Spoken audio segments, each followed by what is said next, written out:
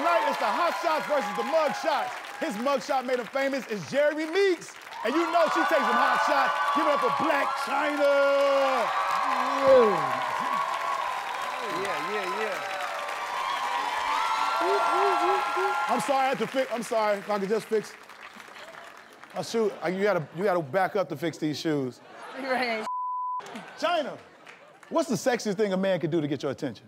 I would have to say wear gray sweatpants. Gray sweatpants? Yeah. That's man lingerie, sweatpants, basketball shorts, anything with a thing thing moving around. That's man lingerie right there. You know, I think that's very sexist, and I, as a man, applaud you. All right. Jeremy, your mugshot changed your life, bruh. So, just asking. So, do you feel like getting caught up bad, or did it pay off? What do you think?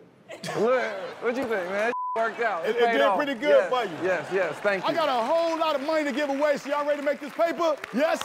Let's get it. Let's get it. Blac Chyna, you are playing for your fan, Amelia, and Jeremy, you're playing for your fan, Linda, over there. The game is tic-tac-toe. Get three in a row, you get that dough. Winning the first game gets you an extra $1,000 like that. And um, I heard backstage, I could be wrong, y'all had a little side bet y'all wanna Oh, throw up definitely, there? definitely. O, O's gonna win. The bet is whoever loses has to post this picture to their Instagram. All right. that, that is horrible. That's how y'all do me, huh? He, yeah. That's the one y'all put up. I still hit that. deal? Got it? Shake on it. Shake on it. Deal. Solid shake. No sexual shake.